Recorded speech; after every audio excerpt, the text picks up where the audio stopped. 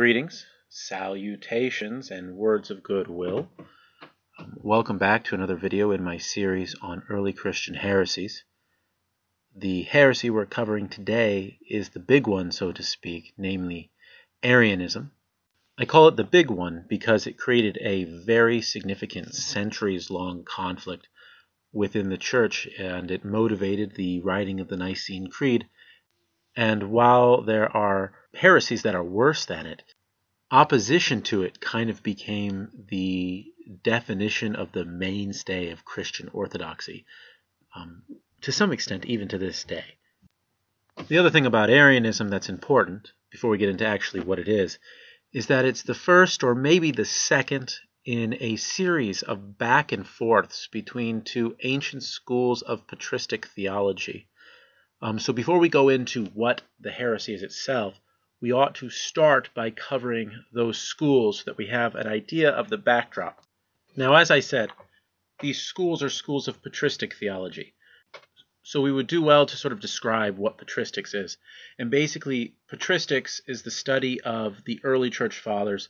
So more or less those theologians which precede the Middle Ages although people prefer to give ecclesiastical designations to these time periods.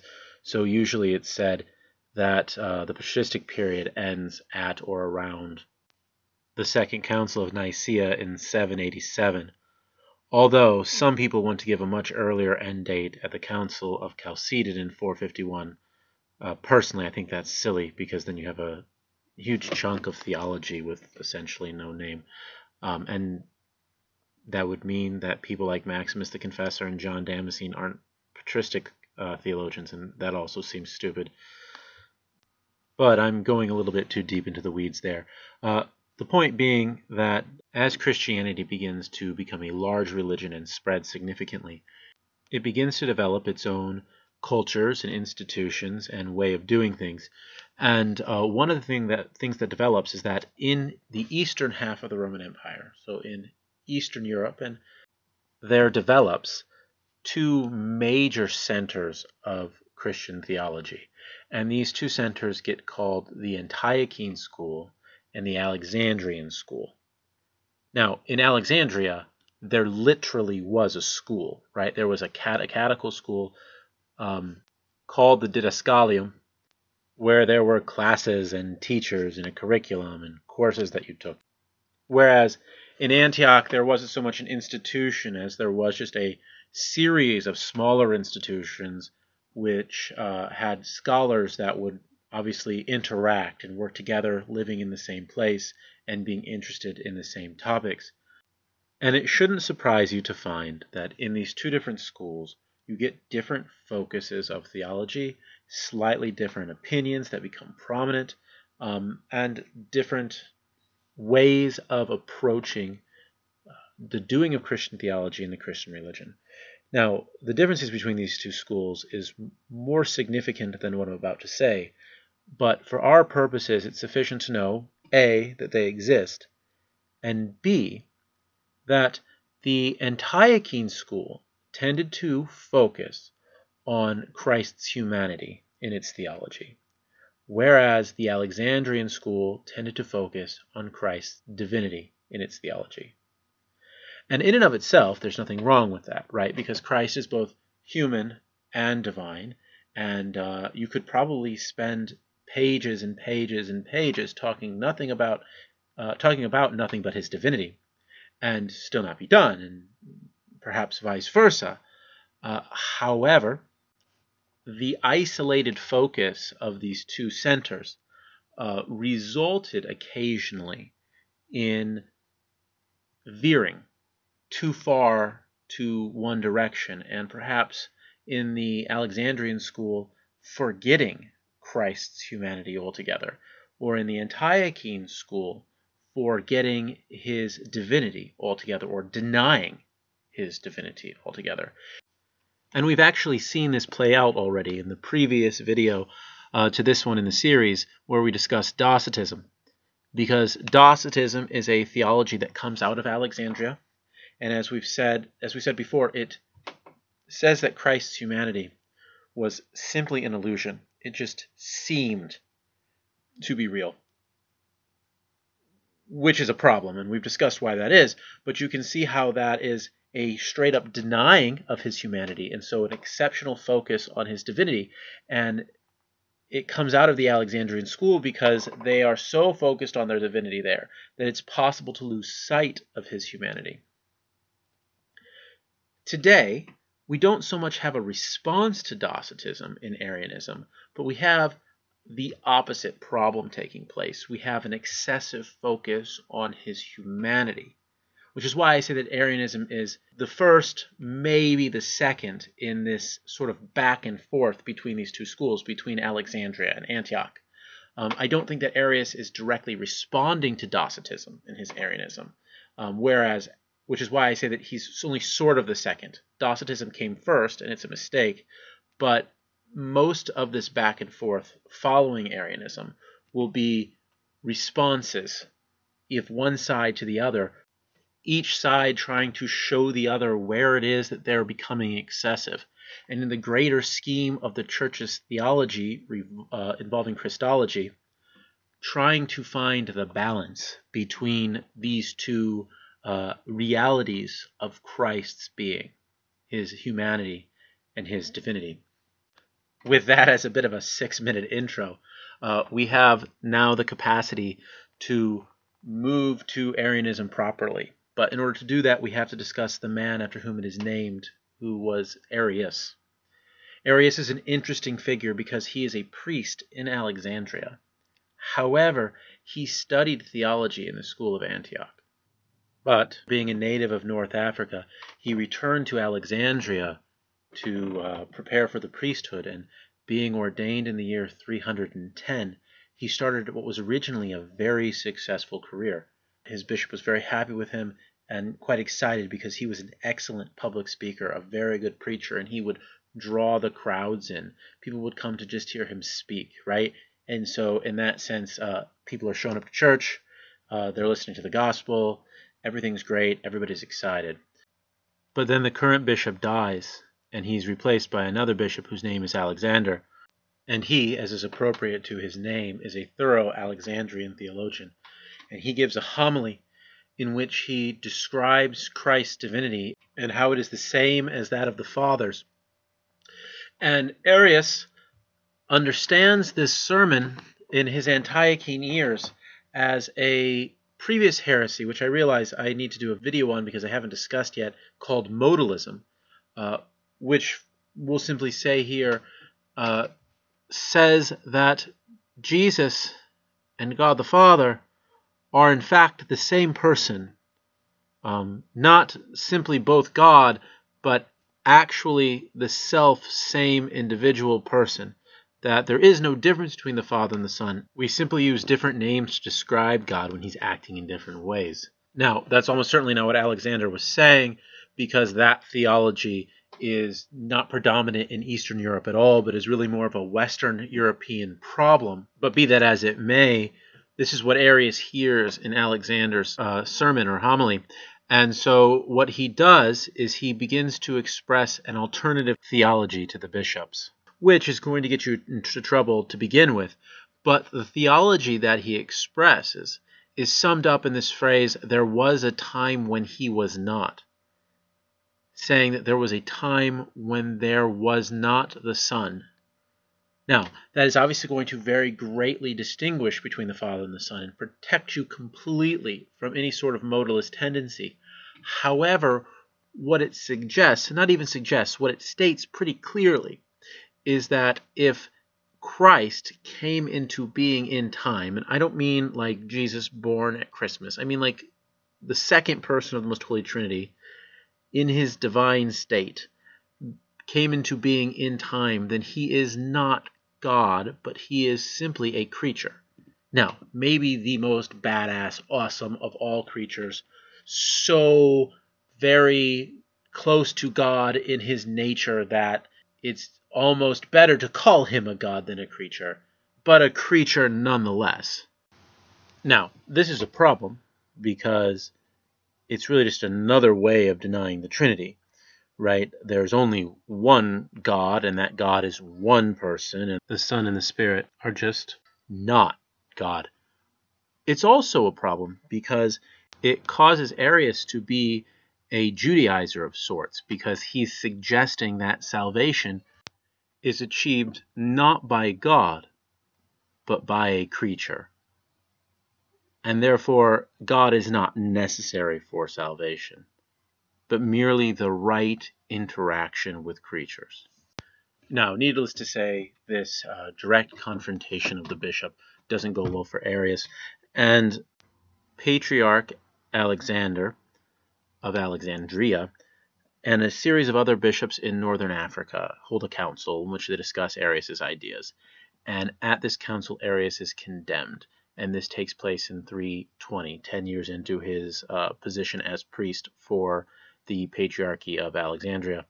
And in response to this, Arius, rather than recanting, simply moves closer to Antioch, to the city of Caesarea, where he's accepted as a faithful Orthodox priest and continues his ministry as a priest and his champion of this theological position regarding the nature of Christ. Now, this particular heresy is unique in a sense. First, because it greatly divides the church. After all, there already was this divide between Antioch and Alexandria, and uh, this is sort of formalizing that divide.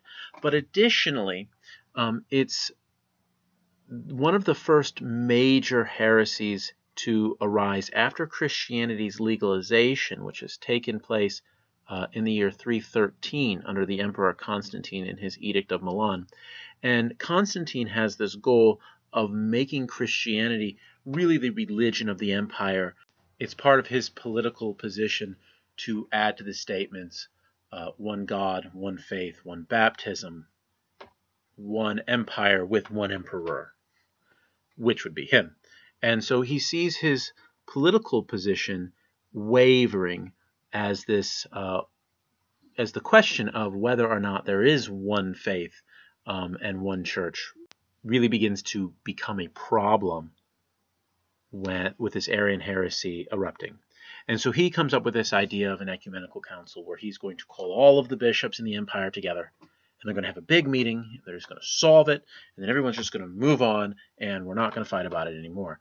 So he organizes this big meeting just outside of his brand new capital, Constantinople, in a little town uh, called Nicaea, which is really more of a suburb of the capital than its own independent place. And all the patriarchs of the East come. Uh, the Pope's not capable of being there, so he sends his papal delegate, who has the awesome name of Hosius of Cordova, a name which deserves to be said twice, so we'll say it again Hosius of Cordova. And as bishops are like to do in councils, they have a big fight about it, and the Arians make their claims, and the other bishops uh, make their claims. And the person who comes to the top uh, of the decision making at this council and for the years that follows is a man by the name of Saint Athanasius of Alexandria. And he uh, really champions this word both here and at the next Council of Constantinople called homoousion. And the lovely thing about the word homoousion is that everyone knows that the word homo in there means the same, just like in the word homosexual right? Uh, but no one really knows what the second part, the ousia in ousion, means. Except that Arius won't say it, right? And the Arian bishops won't say it. And so as long as everyone agrees to this word homoousion, then Arianism is condemned. And so this word is the decision that the council comes to. They write an earlier edition of what we call today the Nicene Creed, Everybody but two bishops signs the document. All's hunky dory. Constantine sends everybody's home, and supposedly it's a giant success, and the uh, theological quandary is solved. Except that the large number of the bishops at the council are not happy with this homoousian uh, word for various reasons. Some of them are Arians and some of them aren't. And many of them only signed it because they were afraid Constantine was going to kill them or gouge out their eyes or something. And so uh, many of them go back to their diocese and immediately recant and say that was a giant mistake. And we don't believe it and sorry that was just a bad mistake. I was scared and i shouldn't have done that and maybe they go to confession or whatever and uh, the conflict continues. Now we'll talk about that tricky word homoousion in a minute and precisely what it means and uh, the nature of the continuing conflict in a second from a theological perspective but let's go ahead and just uh, finish up some historical details and tie it up into a nice little bow. Um, Constantine initially supports the Council of Nicaea. Unsurprisingly, it was his idea. But this is back in his life as a Christian where he doesn't actually care what the answer is. He just wants one so that there's political stability and he can go on being emperor and sun god and whatever else he wants to be. Um, but as he begins to mature in his faith, uh, he is convinced of the Arian position and not the Nicene position, which is what we'll call it right here. And he begins to be discipled in the faith, primarily by a distant relative of his named Eusebius of Nicomedia, who was a personal friend of Arius's and his supporter and fellow student of Lucian of Antioch. And as a result of that, Arius becomes very prominent in the empire, and he has the emperor's support, and he's actually about to be made bishop of Constantinople just before he poops himself to death in 336 AD. Um, and yes, I literally mean that. He died from excessive diarrhea. Constantine himself is baptized on his deathbed by this Arian bishop, uh, Eusebius of Caesarea, and the situation gets so dire for the Homoousians, for the Nicene position, that St. Jerome actually says that the world one day woke up and groaned to find itself Arian. And St. Athanasius is given this title Athanasius contra mundum or Athanasius against the world because he is the only one, quote unquote, obviously there were others, um, who is still promoting this Homoousian position, this anti Arian position. Now, uh, Arianism is condemned again at the Second Ecumenical Council, which is the first Council of Constantinople. Okay, they have the second one across uh, the water in the capital itself of Constantinople, uh, and it's shortly after Athanasius' death that this takes place. But even that doesn't really resolve the problem completely, and Arianism remains prominent in certain places up until the 7th century, really, when largely thanks to pretty much pretty Nicene princesses, uh, it slowly dies away as uh, the barbarian kings cease to support it. Now, let's get into the theology a little bit more in detail. This word that Athanasius comes up with, homoousian, as I said, it's a convenient uh, word because no one really knows what it means, which allows him to create a coalition of sorts. Remember, the councils tend to be compromises. And so he creates a coalition around this word homoousion, and a bunch of people could support it, many of whom did not have the same theology, but whose theology was not Arian. And so you uh, take out the Arians um, only to find yourself with a new problem. So, what does the word ousia mean? Well, the word ousia is the Greek word for substance. Okay? Uh, but just as substance has many different meanings in English, it has many different meanings in Greek, which is why it's a good translation of the word from Greek because it's equally ambiguous. In one sense, the word substance means some sort of material, right? If, if you went into a chemistry lab and somebody had a beaker and you said, hey, what's the substance in the beaker? You'd want to know what kind of matter was in that beaker, is it water or mercury or lead, right? Not that that wouldn't be obvious, but the point being that substance can mean a type of matter. And so what one could be saying by saying that the Father and the Son are homoousion is that they're made from the same stuff, that they're made out of the same thing. Now, the reason that substance can mean a type of matter is that it can also uh, mean a type of thing, simply put. So, in that sense, it has the same meaning as the English word essence or nature. Now, this usage might be obscure to some of you, but in the English language as well, the opposite of an accident is a substance. Okay, an accident is something that doesn't have to be there, that's not necessary, that's not essential to the situation. And the substance of the situation is what makes something the way it is, what makes it what it is, what makes it the type of thing it is. This is how we're using the word when we say that two things are substantially the same thing, which is to say that in essence they are the same thing, which, if taken very literally, would mean that they have the same qualities that make them the sort of thing they are. So they're the same type. And so, in this sense, by saying that the Father and the Son are homoousion, you could just be saying that they're the same type of thing, which is true in a sense, but you could say that if you believe that there were three gods and you weren't actually a monotheist. Now, in Greek philosophy, this use of the word substance is referred to as secondary substance because it comes out of a much more primary use of the word, which is actually less primary in English and less common in English, which simply means an individual thing. There is the substance of dog, the secondary substance, which is the the qualities that make something a dog, and then there is the individual dog. And this is actually the original meaning of substance, an individual thing. This is what we mean when we say that something is insubstantial, and by that we mean that it's intangible, right? It's not a thing. Now, in this sense of the word, if you say that the Father and the Son are homoousion, you could very well be espousing modalism, that there is no difference between them, that they are one person. So this brings us to the correct meaning of this phrase, or at least the most correct meaning of it.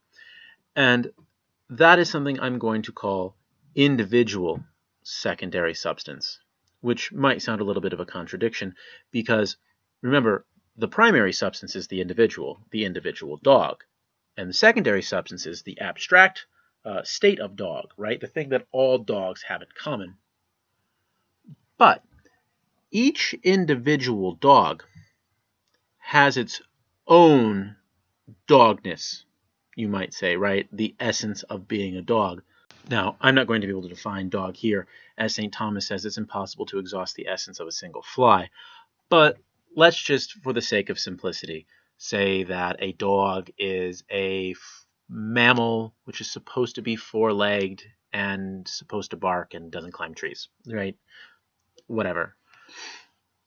Each individual dog, Fido, Rover, and Spot, share an abstract dogness, the list, you might say, of qualities that make something a, a dog, the idea of being a dog.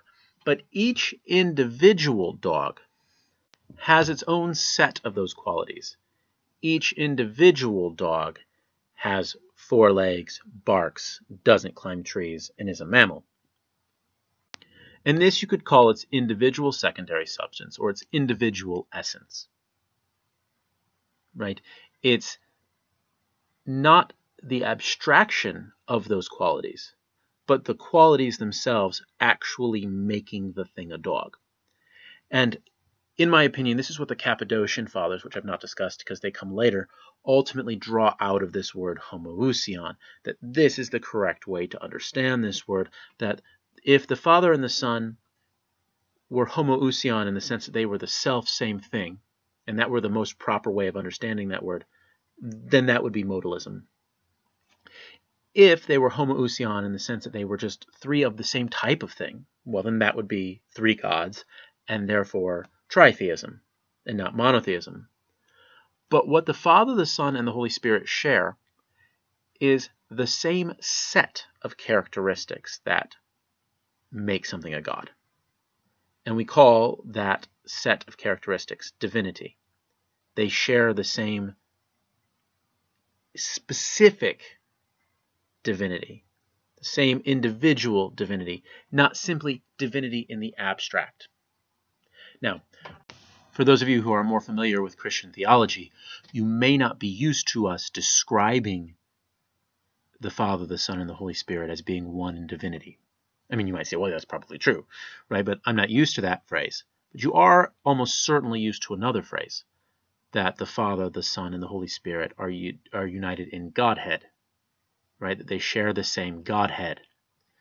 Well, Godhead comes from an older version of the suffix hood, right? The head in Godhead is actually what we would commonly today refer to as hood. So the word originally comes from this theology right here, and what, what was being said is that they shared the same godhood. And what is something's godhood, right? It's its divinity. It's its state of being a god, its nature as a god.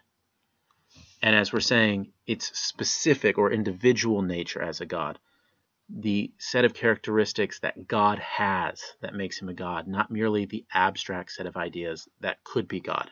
Now, in the case of dogs, those aren't the same thing, and many theologians are going to want to argue that, in fact, most, uh, that in the case of God, those are the same thing. But be that as it may, focusing not on the abstract, but on the individuality of that quote unquote set of characteristics is the way to understand the meaning of this word.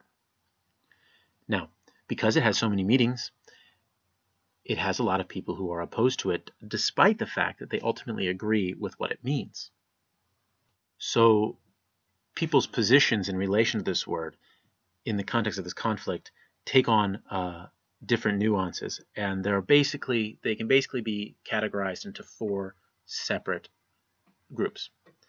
The first being the people who accepted the word, and they're called Homoousians. Okay, they believe the Father and the Son are homoousian, are of the same substance, or one in essence. Now, the next step away from the homoousians, and pay close attention here because when you're talking about the word in Greek, it's with an O, but when you're talking about the people, it's with an A, is homoiousians. And the difference between homoousian and homoiousian is an iota, right? So you've heard the phrase, it doesn't make an iota of difference. This is the iota, the letter I. And the difference between homo and homoi in Greek is that homo means the same and homoi means similar or alike. Right? So the homoiousians, who get called semi-Arians, right, sort of Arians, want to say that the Father and the Son are alike in essence. Not that they have the same essence, but that they're alike. And the Homoiousians are going to say that uh, for one of two reasons. One, they think that the Son is a creature, but they want to focus on how amazing and awesome he is. And so, like, he's not unlike the Father, right? I mean, he's, he's like him, he's just not him right? Or his substance, his his way of being is similar to the Father's. Now, the other reason why someone might say this is that they actually believe in the Nicene position as it's properly expressed, but they're concerned that what is meant by ousia here is not this individual essence, but just individual, right? A particular thing. And as we've already said, uh, that statement pushed to its extreme is modalism. And so they want to reject modalism, and so they're uncomfortable with this word because they see it as modalist. And actually, uh, it was a word used by a famous modalist known as Sabellius. So, not an unreasonable concern. And since uh, both, you know, moderate Arians and moderate non-Arians uh, can say this word, they were considered a compromise party, right? That we could just end the conflict and kick the can down the road if we were just all willing to say homoiousian. Now, the next step from homoiousian is what we call the homoians. These are people who simply want to say that the Father and the Son are alike. Throw out that whole essence word together, and then we don't have to worry about what it means because we don't know what it means. Um, now, this particular position is neither strictly Arian nor strictly Orthodox, just like the Homoiousian position isn't. most of the people in the Homoian camp didn't like the word ousia altogether, right? Whether they believed that the Father and the Son were one in essence, in any sense of the word, or not, is not the question. The question is whether or not we should be using that word, because the word does not show up in Scripture. And so you've got a group of bishops here who could be uh, likened to Bible thumping fundamentalists who are saying, like, the Bible is all we need, Greek philosophy is bad, it's certainly not necessary, and there's no reason why it needs to show up in our dogmatic statements. Uh, just use what the Scripture says. Don't use non scriptural terms to describe what's in the Bible, just use the way the Bible describes it. Now, some of those individuals are going to be Arian, right? And some of those individuals are not. Now, the absolute opposite of the Homoousian position is what we call the Anomoeans. And the Anomoeans want to use this Greek word anomoios, which is the opposite of homoios, which we just discussed, right? The an here is like the im in impossible, right? Not possible, it negates. It's actually the same sound as un in unlike. So what anomoios means is unlike. Homoios means like, and anomoios means unlike, not like. And these are the strict Arians. Everyone who's in favor of this position uh, is definitely an Arian because they want to say that the Father and the Son are not like each other. And why would you say this? Well, if the Son really is a creature, right, and not God, then God, who is infinite, is infinitely different than the Son. And so it is more fundamentally correct, you might say, to say that they are unlike than that they are like. And they don't want to compromise with the non Arians. And so they're going to stick to this word and insist on saying it. Now, maybe you could get them to say that they're like in other circumstances, but but this is the fundamental word they're sticking to.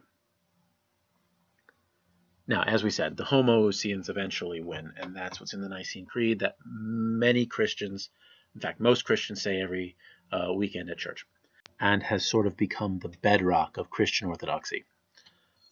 So that's where we're going to put an end to it. Um, I might, well, I almost certainly will make another video in the future, assuming I keep doing this, which uh, gets into that distinction between the different meanings of ousia. Uh, because I'm sure it's not 100% clear, I could probably talk. I've spoken here for about 30 minutes. I could probably speak for a full 30 minutes on that distinction itself. Um, in fact, I have before. So we'll call it a day. Um, again, thanks for listening. Please like, subscribe, comment, etc., etc. Um, if you see that I'm below a thousand subscribers, you got to get to a thousand to monetize. So you know, if you found this at all useful, you can just click the subscribe button and never look at one of my videos again.